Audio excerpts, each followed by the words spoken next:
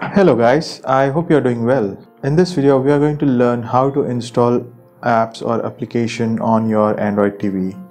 So right now I have few apps installed and some of them come pre-installed. Now if I want to add more apps, I can just go to the app screen at the top and then under here I will have this option, uh, the app name as uh, Google Play Store. Select it and it will uh, help me downloading the apps or display the compatible apps.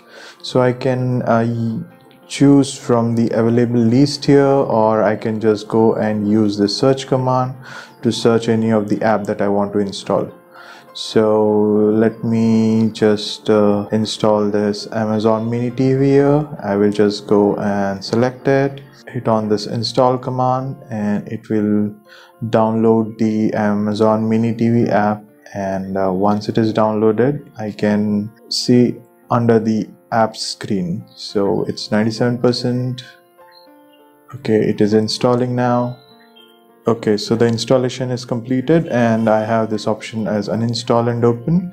I will select open and it will open the Amazon mini TV app.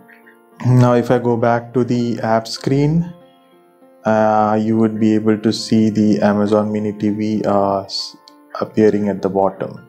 So in this way you can install the apps using the Google Play Store on your Android Smart TV I hope this helped. Let me know if you guys have any questions.